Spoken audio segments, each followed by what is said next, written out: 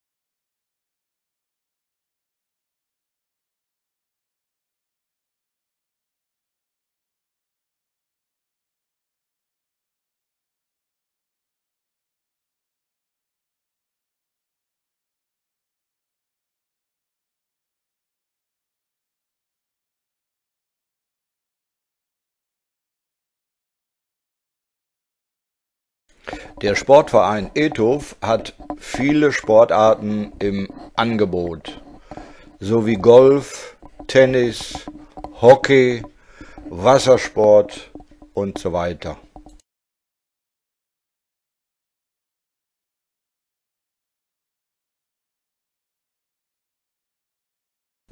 Auch hat der Ethof einen Center Court.